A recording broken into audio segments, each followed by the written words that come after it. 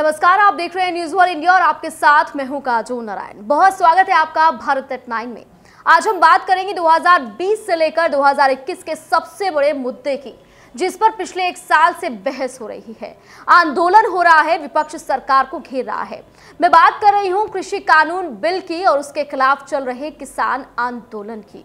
दरअसल पिछले एक साल से नए कृषि कानून को लेकर काफ़ी बवाल हुआ है। किसान अपनी मांगों को लेकर दिल्ली के तमाम बॉर्डर्स पर बैठे रहे। तो एक साल बाद आखिरकार पीएम मोदी देश को संबोधित करने आते हैं और कृषि कानून वापस लेने की घोषणा करते हैं।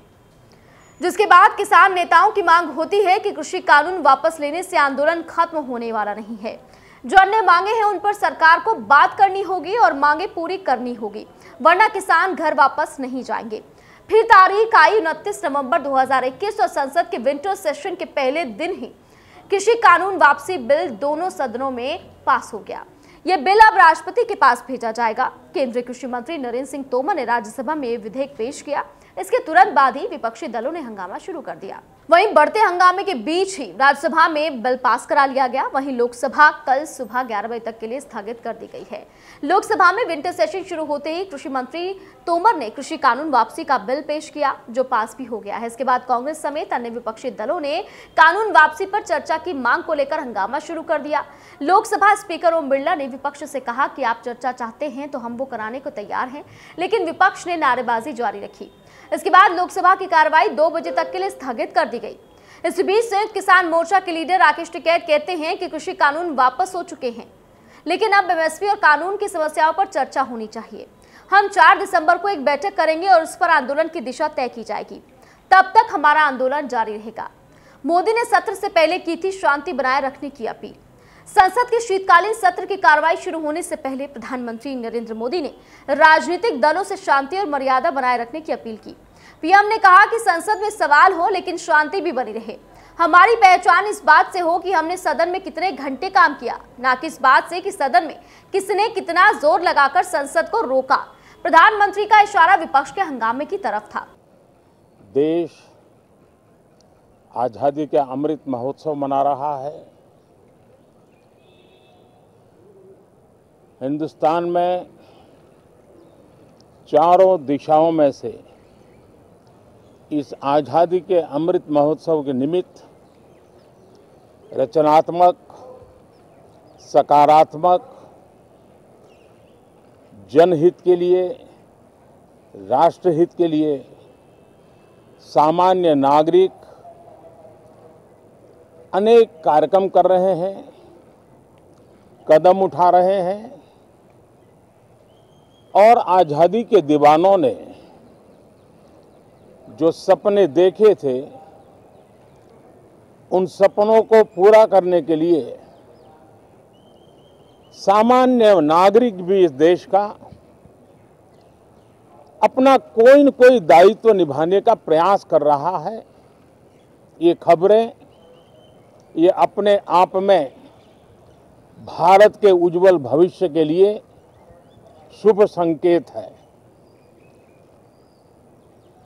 कल हमने देखा है, पिछले दिनों संविधान दिवस भी नए संकल्प के साथ संविधान के स्पिरिट को चरितार्थ करने के लिए हर किसी के दायित्व के संबंध में पूरे देश ने एक संकल्प किया है। इन सब के परिप्रेक्ष्य में हम चाहेंगे, देश भी चाहेगा, देश का हर सामान्य नागरिक चाहेगा कि भारत का, संसद का, ये सत्र और आगे आने वाले भी सत्र, आज़ादी के दीवानों की जो भावनाएँ थी, जो स्पिरिट था आज़ादी के अमृत महोत्सव का जो स्पिरिट है, उस स्पिरिट के अनुकूल संसद भी देश हित में चर्चाएँ करे, देश की प्रगति के लिए रास्ते खोजे, देश की प्रगति के लिए नए उपाय खोजे, और इसके लिए ये सत्र बहुत ही विचारों की समृद्धि वाला, दूरगामी प्रभाव पैदा करने वाले, सकारात्मक निर्णयों वाला बने। मैं आशा करता हूँ कि भविष्य में संसद को कैसा चलाया, कितना अच्छा कंट्रीब्यूशन किया, उस तराजू पे तोला जाए न कि किसने कितना ज़ोर लगा करके संसद के सत्र को रोक दिया। ये मानदंड नहीं हो सकता है। मानदंड ये होगा कि संसद में कितने घंटे काम हुआ, कितना सकारात्मक काम हुआ। हम चाहते हैं सरकार हर विषय पर चर्चा करने के लिए तैयार है, खुली चर्चा करने के लिए तैयार है। सरकार हर सवाल का जवाब देने के लिए तैयार है। और आज़ादी के अमृत महोत्सव में हम ये भी चाहेंगे कि संसद में सवाल भी हो, संसद में शांति भी हो। हम चाहते हैं संसद में सरकार के खिलाफ सरकार की नीतियों के खिलाफ जितनी आवाज़ प्रखर होनी चाहिए, हो। लेकिन संसद की गरिमा, स्पीकर की गरिमा, चेयर की गरिमा, इन सब के विषय में हम वो आचरण करें जो आने वाले दिनों में देश की युवा पीढ़ी को काम आए। इधर कृषि कानूनों की वापसी की मांग को लेकर कांग्रेस ने संसद परिसर में धरना दिया। हाउस में पास किया गया। और अपर हाउस में हम ये चाहते थे कि हमारी जो नोटिस 267 रूल्स के तहत दी गई थी जिसमें हम ये कहा, हमने ये कहा है कि उस नोटिस के तहत एक तो जितने फॉर्म बिल्स तीन फॉर्म बिल्स जो विड्रॉ किए, इसका तो हम स्वागत करते हैं सपोर्ट करते हैं। इसमें कोई संशय नहीं है, इसका कोई गैर अर्थ निकालने की ज़रूरत नहीं है। हम जो तीन एक्ट उन्होंने विड्रॉ किया है, उसके समर्थन में हम हैं, लेकिन हम ये चाहते हैं कि उसका, उसके ऊपर बहस हो जाए। क्यों इतना देर हुआ, क्या हुआ? ये सारी चीज़ें आ जाएँगे। लखीमपुर खेरे का भी इंसिडेंट आ जाएगा, दूसरी चीज़ें भी आ जाएँगी। तो इसीलिए हम चाहते हैं फुल डिस्कशन उसके ऊपर। और उन्होंने टालने की ये कोशिश कर रहे हैं कि इससे पहले सदन में रिपील बिल्स पे कभी भी डिस्कशन नहीं हुआ। इसीलिए हम नहीं करना चाहते हैं। आप एक्सेप्ट कीजिए। मैं आपके सामने सत्रह ऐसे बिल दिखाना चाहता हूँ, जो सत्रह बिल में बहस इससे पहले हो चुकी है, कर चुके हैं अलाउ कर चुके हैं। तो हम यही चाहते हैं कि इस बिल पे चर्चा हो डिबेट हो जनता को मालूम हो और किस ढंग से आज उन्होंने इस बिल को लाया है और इसको गड़बड़ी में करके ये सबूत करना चाहते हैं कि हम किसानों के फेवर में हैं और किसान के पक्ष में हैं और जो जो हम डिमांड करने वाले, जो मिनिमम सपोर्ट प्राइस का है, जो इलेक्ट्रिसिटी बिल का है इसमें कांग्रेस की कार्यवाहक अध्यक्ष सोनिया गांधी और राहुल समेत पार्टी नेता शामिल हुए। आज ही संसद में कृषि मंत्री नरेंद्र सिंह तोमर कृषि कानून वापसी बिल पेश कर दोनों सदनों से पास करा ले गए। आज से धजिया उड़ाए जा रहे हैं सर। सदन की जो कानून है, सर देखिए सर देखिए, ये जो फॉर्म बिल लाए जा रहे हैं, इसमें लिखा है कि कॉन्सिडरेशन एंड पासिंग तो जब कॉन्सिडरेशन एंड पासिंग के सवाल आते हैं तो चर्चा क्यों नहीं किया जाएगा? सर, ये सदन में आज नहीं 2014 साल में छह रिपील और चौदह से ज़्यादा बिल को रिपील किया गया। सर, एक मिनट। सदन? सर लेकिन उस समय चर्चा हुई थी। छह सदन बिल में ये हालात छह बिल रिपील सर छह कानून चर्चा की सर अनुमति छह कानून आपको। छह कानून सर छह कानून रिपील किया गया था। फिर भी उस समय चर्चा हुई थी। सर सर एक बात सर छोटी सी निवेदन है। सर हमारे लेकिन इस बीच विपक्ष लगातार हंगामा करता रहा और कई विपक्षी नेताओं ने सरकार पर सवाल उठाए। तीन कृषि कानूनों की वापसी वाले बिल को लोकसभा, राज्यसभा की मंजूरी मिल गई। इसके बाद कांग्रेस नेता राहुल गांधी ने प्रेस कॉन्फ्रेंस कर मोदी सरकार पर निशाना साधा। उन्होंने कहा कि जिस प्रकार से इन कानूनों को रद्द किया गया, बिना किसी बातचीत के वो दिखाता है कि सरकार चर्चा से डरती है। साथ ही उन्होंने ट्वीट कर कहा कि चर्चा नहीं होने दी एमएसपी पर। शहीद अन्नदाता के लिए न्याय पर। लखीमपुर मामले में केंद्रीय मंत्री की बर्खास्तगी पर। उन्होंने कहा, जो छीने संसद से चर्चा का अधिकार फेल है, डरपोक है वो सरकार। ये किसानों की, मजदूरों की सफलता है। एक प्रकार से देश की सफलता है। मगर जिस प्रकार से ये कानून रद्द किए गए, बिना कोई डिस्कशन पार्लियामेंट में इसके बारे में चर्चा नहीं होने दी। ये दिखाता है कि सरकार डिस्कशन से डरती है। और दिखाता है कि सरकार जानती है कि उन्होंने गलत काम किया और सरकार डरती है। डिस्कशन जो हमारे किसान भाई शहीद हुए, उनके बारे में है। वो जो 700 किसान जिन्होंने अपनी जान दी, उनके बारे में डिस्कशन होना था। डिस्कशन ये भी होना था कि ये जो किसानों के खिलाफ कानून बनाए गए, इसके पीछे किसकी शक्ति थी, कौन सी शक्ति थी, ये क्यों किए जा रहे थे, क्यों बनाए गए। डिस्कशन एम एमएसपी पे भी होना था। और जो किसानों की समस्या है, उस पर होना था। लखीम, लखीमपुर खेरी और इनके जो होम मिनिस्टर हैं, उन पर डिस्कशन होना था। वो तो सरकार ने होने नहीं दिए। मगर सरकार के दिमाग में थोड़ा सा कंफ्यूजन है। वो सोचती है कि जो गरीब लोग हैं, किसान लोग हैं, मजदूर लोग हैं, उनमें कोई शक्ति नहीं है। उनको दबाया जा सकता है। और इस एपिसोड ने यह दिखाया है कि किसानों को मजदूरों को गरीब लोगों को कमज़ोर लोगों को हिंदुस्तान में दबाया नहीं जाता ये ये जो तीन कानून थे ये किसानों पर आक्रमण था मजदूरों पर आक्रमण था। अ, मगर किसानों और मजदूरों की जो डिफ़िकल्टीज हैं मुश्किलें हैं वो एमएसपी कर्जा माफ़ी वो लंबी लाइन है लंबी लिस्ट है।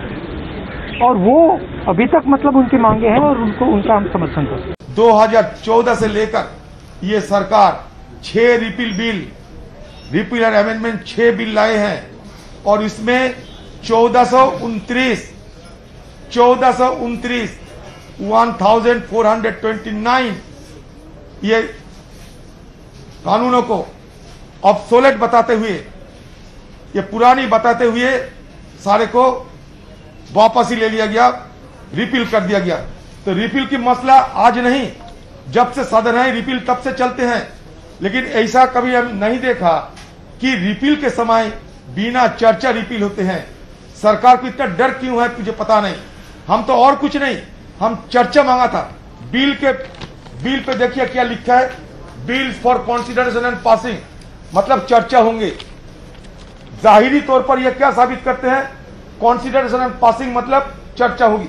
कॉन्सिडरेशन मतलब ये नहीं कि अब बिना चर्चा पास करा देंगे। तो कॉन्सिडरेशन और पासिंग की बात तो रखते हैं। और सदन के अंदर जब समय होते हैं तो सब बिल छोड़ के ये बिना चर्चा, ज़बरदस्ती पास करा लेते हैं। मतलब विपक्ष को कुछ बोलने का मौका ही नहीं देते। आज बीएससी की मीटिंग भी बुलाई थी। उस समय भी हम लोग मांग रखा था कि फॉर्म लॉ पे हमें समय दिया जाए। उस समय भी सरकार हमें समय के बारे में कुछ सूचित नहीं किया। दूसरे बिलों पे समय है।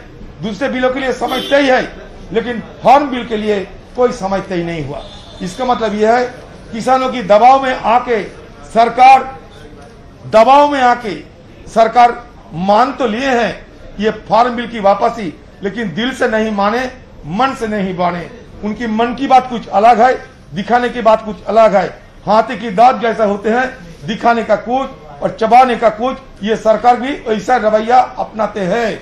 इसलिए हमारी ये मांग था कि हम किसानों के लिए कानूनी कवच के तहत ये मिनिमम सपोर्ट प्राइस न्यूनतम सहायक मूल्य की मांग साथ साथ फर्जी केस की वापसी और किसानों को आर्थिक मुआवजा और इसके साथ लोखीमपुर खेरी की घटना की बजाय चलते मंत्री को बर्खास्त करने का सारे मांग हम रखने के लिए बिल्कुल तैयार बैठा था। लेकिन ये सरकार डर की मारे। सर, इस रिपील बिल्स के तो हमने पूरे सदन के सारे मेंबर स्वागत करते हैं, कोई भी इसके विरोध में नहीं। क्योंकि ये किसानों का मुद्दा है। आप एक बार एलओपी बोल लेते हैं मैं अलाउ करता हूँ। एक बार एलओपी को बोल ले दीजिए। एक बार एलओपी को बोलने दीजिए मैं अलाउ करता हूँ। सर प्लीज़ प्लीज़ धन्यवाद सर आपने मुझे परमिशन दिया और खास करके अपने विचार को इस- सदन में रखने के लिए। और चीनी जो कानून कानून थे आखिरी में सरकार को ये इसके बारे में इसका प्रतिक्रिया क्या हो रहा है? देश में किस ढंग से इसको स्वीकार किया जा रहा है? ये सभी मालूम होने के बाद अब ये तीन बिल उन्होंने वापस लिए। अब वापस लेने के बाद मेरा ये उनसे गुजारिश है, ठीक है एक साल तीन महीने के बाद आपको ज्ञान प्राप्त हुआ और आपने बिल को वापस लिया।